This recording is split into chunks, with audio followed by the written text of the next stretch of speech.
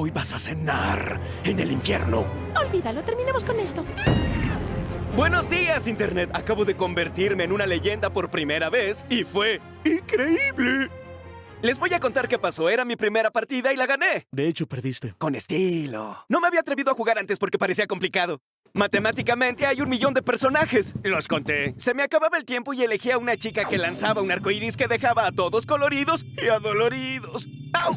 ¡Lo valió! La cosa iba bien. Exploraba el lugar, les robé el dinero a unos duendecillos y de la nada me encontré con una adorable niñita. Pensé, em, la ayudo, se perdió, esto es parte del juego. Y antes de que pudiera hacer algo, me prendió fuego. ¡Todito! Ojalá hubiera sido la única vez, pero volvió a pasar tres veces más.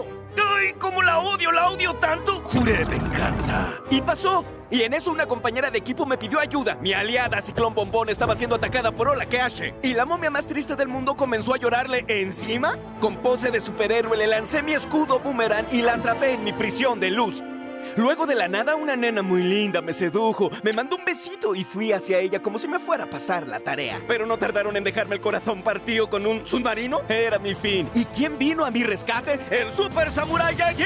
Mientras él los hacía picadillo, finalmente obtuve mi definitiva. Ah, si piensan que mi definitiva es un megaláser arcoíris destructor rostizapollos, pues sí lo es. El rayo acabó con orejitas seductoras, la H se derritió, hundíese acorazado. Avanzamos por el carril central, tumbamos su torre hasta que quedó solo un rival, mi más grande archienemiga, la niñita pelirroja adoptada. Lo cual nos lleva a... En el infierno. Poco después de eso perdimos, pero aún así fue genial. 10 de 10, cuatro cucharas, una A más, un tomate maduro, lo que eso signifique.